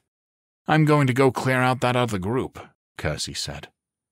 The sniper nodded and got into firing position, training his aim on the building beside them all. Kersey headed purposefully towards the stairwell, preparing for another battle. Chapter 8 Moss, Baker, and Zeke breached the door into the building, guns aimed expecting zombie resistance since the doors were open. Much to their relief, they found themselves in a stairwell that was sealed off from the main lobby. Better lucky than good, Zeke quipped. Come on, let's get into position, Moss said, and they worked their way up to the third floor, stopping outside of the door in the stairwell. You stay behind me while we clear this place out, Baker said, and Zeke nodded, waiting for the others to get ready. Baker gave a silent countdown, and they breached the door. The floor was mostly cleared out, with some desks up against the wall. There were two broken out floor to ceiling windows facing the target building, and this put them on edge, but they quickly figured out they were alone. If anybody was here, they're gone now, Moss said. Baker nodded, Let's get to the window, he said. The trio rushed over and looked down at the windows on the target building that had been shot out. They were standard size over there, nestled in brick. The soldiers looked over the edge carefully, making sure nobody was waiting on them for an ambush. Well, see if your people are there, Moss finally said, waving Zeke forward. He moved to the edge, cupping his hands around his mouth. Hey, guys!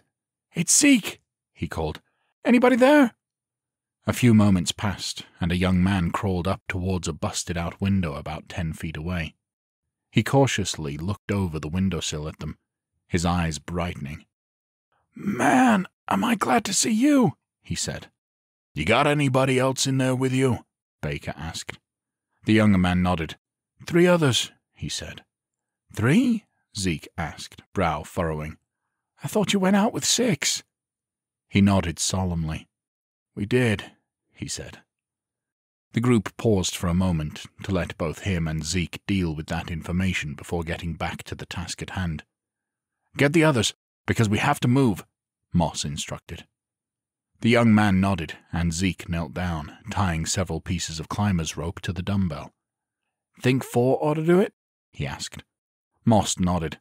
Should be plenty, he agreed, and looked around, spotting a metal desk about ten yards away.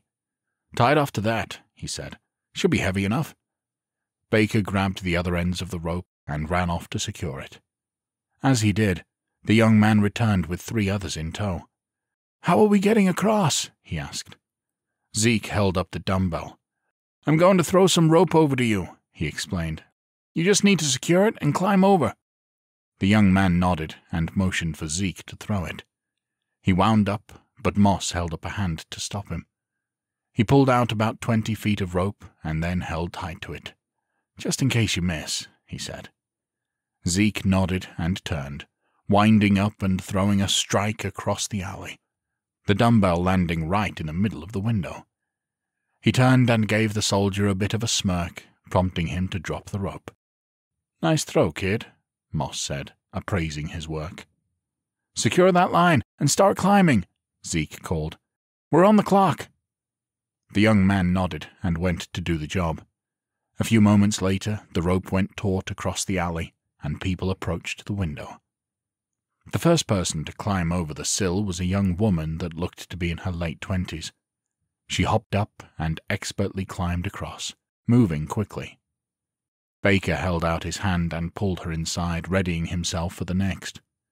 The next man looked a little older, and hesitated at the window as he stared fearfully at the rope. Come on, man. We're not safe here, Moss urged.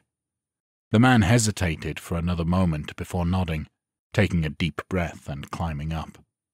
He inched halfway across when a shot rang out.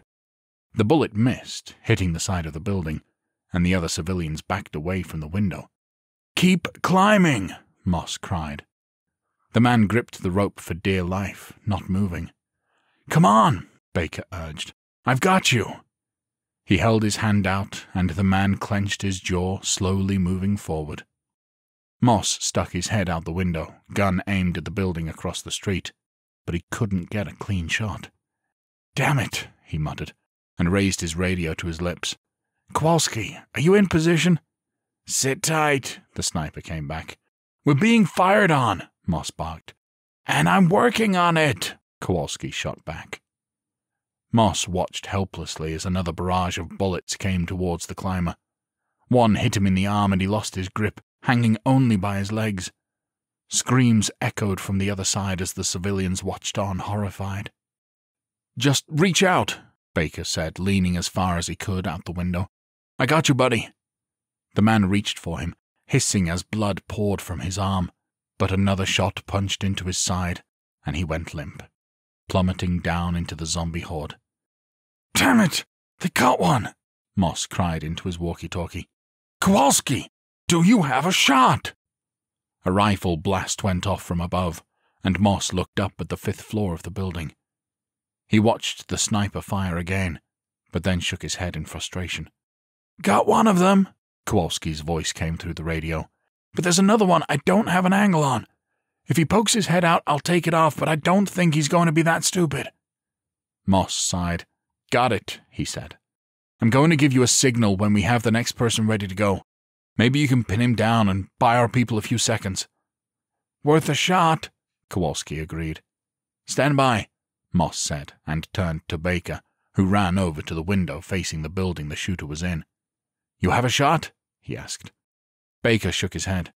He knows where we are, and he's too far back, he said. What about the second floor? Moss asked. Baker shrugged. Good work, he said. Stay over here at the window. I got the fucker, Moss said, and Baker waved him over, pointing out where the gunman was hiding. There were several zombies right outside the window, but several planks of wood kept them at bay.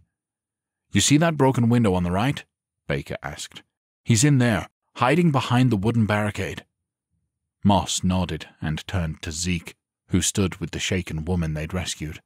You make sure those people are ready to move, Moss said firmly. Zeke nodded. They will be, he promised. Moss ran down the stairs, hitting the second floor landing and cracking open the door. There were about a dozen zombies spread out in there, and he internally sighed. Shit, he thought bitterly, and kept looking, spotting the path to the window he needed. There were several desks lined up, like an open office space minus the cubicles. There was only one zombie within ten yards of his target, and he took a deep breath. Moss flicked his rifle into three round burst mode and readied himself, sneaking into the room and gently shutting the door behind him. He gave it a soft tug to make sure it was latched, and then did a silent countdown before taking off, running as hard as he could. His footsteps drew the attention of every zombie in the room, and they immediately began pursuit. Halfway across the room, he lowered his shoulder at the lone ghoul in his path, smashing it in the chest and sending it to the ground. This bought him a scant few seconds, and he raised his weapon, aiming quickly at the gunman across the way, and launching a barrage of three round bursts. The window shattered, and the gunman flew back from his spot, blood splattering everywhere. Baker, get him going, Moss said into his radio and then dropped his hand, turning around at the dozen zombies within five yards of him. There wasn't a clear pathway back to the door, but he spotted a series of desks to his right, and he lunged over, clambering up on top. He leapt from desk to desk, avoiding the rotted hands trying to grab his feet as he moved, managing to make it across without getting tripped up. He dove to the floor on the other side, sinking into a perfect roll and popping back up in front of the door. Throwing it open, and slamming it shut behind him. He allowed himself a second to breathe, and then took off up the stairs, walking onto the third floor. Is this everybody? he asked, as he approached the window where the young man and another survivor were standing with the woman who'd made it across first. We got him, Baker confirmed. Moss lifted his radio to his mouth. Captain, you copy? he asked. There was no response, and he clenched his jaw. Captain, do you copy? he asked again, more forcefully. The captain is dealing with some assholes at the moment, Kowalski replied dryly. We got our people and are headed back to the vehicle, Moss said. I suggest you two do the same. On the move, the sniper agreed. Moss put his radio away and then checked his rifle ammo, turning to the others. Come on, let's get back to the truck, he said, and led them free of the building, hoping that Captain Kersey could do the same. Chapter 9 Kowalski grabbed his rifle after Moss's confirmation they were clear and on the move, but gunshots coming from the building he was in gave him pause. You'd better be okay, Cap, he muttered to himself. I'm in no mood to kill every last one of these assholes to avenge your death. He moved towards the door, stopping about fifteen yards short when he heard noise coming from inside the stairwell.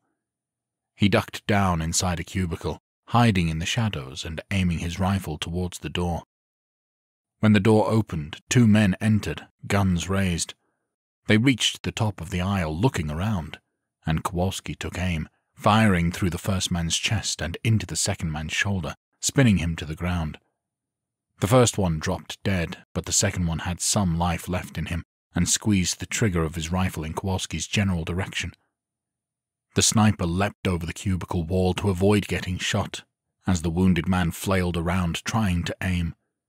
Kowalski landed hard on the ground as another bullet flew in his direction, so he dove to the ground. He scampered up the back aisle, aiming towards the wounded enemy and quickly pulling the trigger. The bullet ripped through the man's gut, causing him to drop his weapon as he screamed in agony. Kowalski stayed on the ground, aiming in the man's direction until he was sure that there were no more bullets coming his way. Once sure, he got up and walked over, keeping his rifle carefully aimed. The sniper stood over the fallen enemy, an older gentleman in his fifties. Kowalski kicked him in the side, prompting some groans.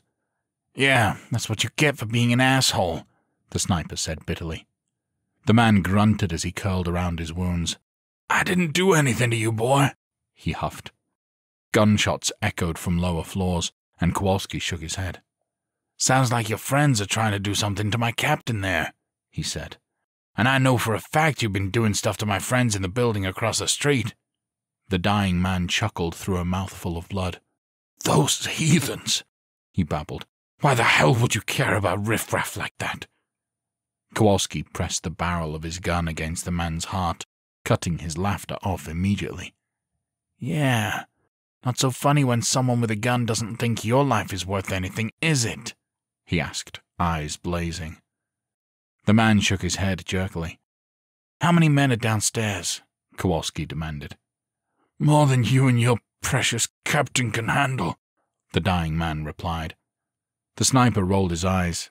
Yeah, well, I'm sure your friends on this floor thought the same thing, he drawled. Now three of them are roadkill. You know what? I was going to let you bleed out, but maybe you'd like to die down there with your friends. The man's eyes grew wide, but he didn't say anything.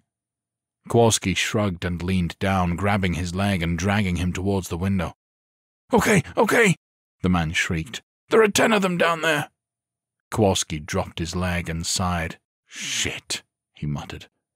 He headed for the door, but just as he reached it, he could hear the man fumbling around for something. He turned back just in time to see the guy hissing as he reached for his ankle. Kowalski drew his sidearm and fired a round into the man's head. Just had to reach for an ankle gun, didn't you? he muttered, and slung his sniper rifle securely over his shoulder. He raised his handgun and moved to the stairwell door, pausing and cracking it open to see if anybody else was waiting for him. Nobody appeared to be in the stairwell, but the gunfire below continued to intensify.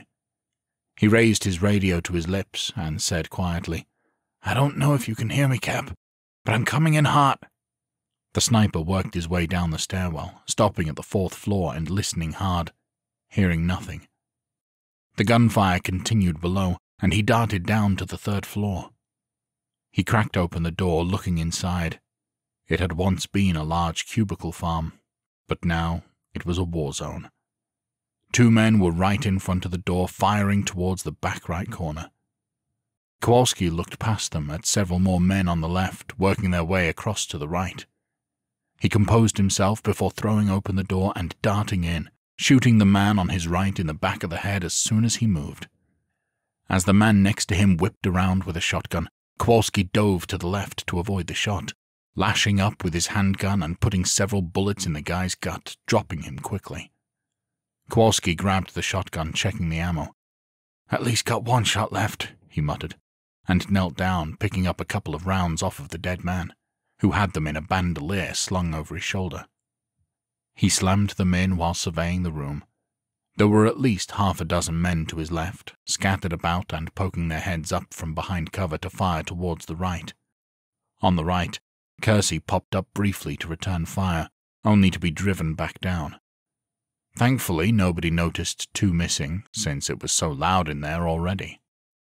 The closest man to Kowalski was about five yards away and solely focused on the captain. He ran up and shot him in the side of the head with the shotgun at almost point blank range. As the enemy's head exploded and his body dropped, Kowalski racked in another shell, but dropped down to the floor as two others about ten yards away shifted their focus to him. Cap, get out of here! Kowalski screamed. Kersey popped his head up from behind cover as the men began to fire at the sniper, who was right across from the door. He slammed a new magazine into his assault rifle, jumping up and opening fire on his new opponents. His bullets didn't find their target, but it did a good job of forcing them behind cover, giving him a chance to move towards the door. Others in the room opened fire at him, forcing the captain to stay low as he ran for the door. As he did, One of the men yelled into a radio, telling someone about their position on the third floor. Kowalski, we gotta move, Kersey said as he skidded next to the sniper. Kowalski popped up and unloaded the remaining three shells into the cubicle walls, managing to strike one man and forcing the others to hit the ground hard. He dropped the shotgun and pulled out his handgun again, joining the captain at the door. The two soldiers rushed out, slamming the door shut behind them and diving for the concrete walls as bullets ripped through the door. Did they get the survivors out? Kersey huffed as they thundered down the stairs. Kowalski nodded. They're on their way back to the truck, he replied. Let's not keep them waiting, Kersey said. But they were forced to stop before they hit the second floor landing as the first floor door slammed open, allowing several men to rush inside. Kowalski leaned over the railing and fired a few shots with his handgun to keep them at bay for the moment. Second floor it is then, Kersey said, and hit the landing just as a gunman started up the stairs leading to it. Kowalski threw open the door and dove inside as the captain fired a three round burst, hitting the man in the shoulder and causing him to miss the shot. As the sniper ran into the second floor office, a beast of a man tackled him to the floor. Kersey whipped around and raised his weapon, but someone near the back of the large open room squeezed off a few rounds in his direction. The captain returned fire, looking out from behind a desk at four other men in the room spread out across the cubicle free maze of desks. He glanced over at Kowalski, who was being picked up by a hulking man and thrown like a rag doll over a desk. He took aim at the large man, but then was forced to switch tactics and fire towards the gunman aiming at him. He sent out a three round burst while diving for a metal desk. When he popped up again, he didn't have a shot on the large man who had Kowalski by the neck and held him up as a human shield. Footsteps thundered in the stairwell, and the door behind Kersey jerked open, but he fired two bursts in that direction, ripping right through the door. He wasn't sure if he hit anyone, but the door didn't budge after that. Before he could turn and fire towards the others, someone screamed in panic, No, no, no! A split second later, a gigantic explosion ripped through the center of the room. Kowalski! Kersey screamed. He gaped at the giant hole in the floor where they'd been, a few desks falling through it to the first floor, and no sign of the sniper. The captain put his shock aside, swallowing hard and pressing himself against the ground as the gunfire started up again. He focused on a pair of feet through the bottom opening of the desk and squeezed off a burst, hitting the ankles and dropping the enemy to the ground. Before he could land a kill shot, the door behind him opened up again and bullets flew, hitting the drawers on the desk. Kersey turned and fired blindly, forcing the gunman's next shot to miss as he reacted. The captain found his aim and fired, pumping three rounds into his opponent's chest. As he dropped, another man popped up behind him, and Kersey pulled the trigger, but his gun clicked empty. Damn it, he muttered, and then leapt to his feet, sprinting across towards the front of the building. He slung his rifle over his shoulder and pulled out his handgun, blindly firing backwards and buying himself a brief moment to get to the window. Bullets whizzed by him, but he stayed as low as he could, managing to avoid getting hit. Five yards from the window, another gunman stepped in front of him, and Kersey opened fire, pulling the trigger as fast as he could while sprinting. The bullets hit the man in the chest, others missing him entirely and punching through the large window behind him. The captain lowered his shoulder, catching the man's shirt and shoving him back into the glass. The window shattered, and Kersey moved his arms to the man's shoulders, riding him down to the ground until they landed with a dull thud. The impact still knocked the wind out of Kersey, and he struggled to get moving. Moans echoed nearby, and that motivated Kersey to struggle harder, looking up at half a dozen zombies within a few yards of him. He staggered to his feet, shoving away a set of rotting arms that reached for him. The captain managed to stumble out of the circle of zombies, putting a little bit of distance between him and the man on the ground, who was still groaning and moving a bit. This attracted the attention of the ghouls, and they leaned down to feast on the easy prey. As Kersey shuffled away, still in pain from the fall, he looked back up towards the broken window, raising his gun towards it. A moment later, one of the chosen appeared there, looking out at his fallen comrade. Kersey fired a few times, hitting the man in the shoulder and driving him back long enough to get across the street and behind cover. He glanced at the hundred strong pack of zombies in pursuit of him, but couldn't see inside the first floor. I hope you're still kicking Kowalski, he thought desperately, and kept pushing, moving as fast as he could back towards the truck. Chapter 10 Moss and the others waited by the truck, occasionally calling out on the radio. Captain, Kowalski, come in, Baker said, and then tossed his walkie talkie onto the hood of the truck in frustration. Moss smacked down a few wayward zombies from across the street and then sauntered back over. Still no answer? he asked, voice hoarse. Nothing, Baker replied bitterly. Moss checked his watch and shook his head. Been fifteen minutes since we've heard any gunfire, he said. Both soldiers let out a defeated sigh, knowing that this wasn't a good sign. If the gunfire had stopped, then that meant the battle was over, one way or the other. How much more time you want to give them? Baker asked helplessly. Moss checked his watch again. Five minutes, he finally said. Zeke got out of the truck, brow furrowed. You're going to leave them behind? he asked. Hey, it's not our first choice, Baker replied. But we're sitting here completely exposed with a bunch of civilians. Moss nodded. I've already had my fill of firefights today, he admitted. If we get into another in our current position, we're probably not getting out of it. Zeke paused for a moment and then finally nodded, shoulders slumping. A moment later, a gunshot cracked from a block up, prompting both soldiers to take battle positions. They watched intently, waiting for someone to appear, be it foe or hopefully friend. Much to their relief, Kersey emerged from the side of the building, moving with the gait of an old man. Just behind him were dozens of zombies, all within ten yards. Zeke! Moss barked, and the trio ran a block up to get to the captain. Zeke and Baker took Kersey by the arms, helping him to move quickly towards the truck, while Moss laid down some cover fire, hitting several zombies in the head to cause a bit of a pile-up. When they reached the truck, there was about three quarters of a block separating them from the zombies. Where's Kowalski? Moss demanded. Kersey shook his head. I don't know, he replied. You don't know? Moss snapped. The captain shrugged helplessly. We got into a hell of a fight with the Chosen. There was an explosion near him and the floor collapsed, he explained. One second he was there, and the next second he was gone. I lost my radio in the battle, so I wasn't able to call out. We've been trying to raise you guys for 20 minutes, and nothing, Baker said. Moss clenched his jaw. Let's go get him then, he demanded. Kersey shook his head. We're not getting back into the building right now, he said. Those things are swarming. He pointed to the zombies that had made it half a block away. If he's still alive, Kowalski is on his own for now. The others all looked dejected, but nobody argued. Eventually they piled into the vehicle, which was a tight fit with the trio of survivors they'd rescued.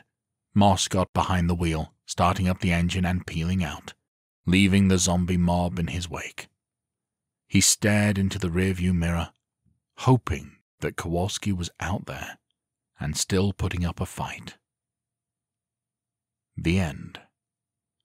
Up next, the battle for Idaho continues.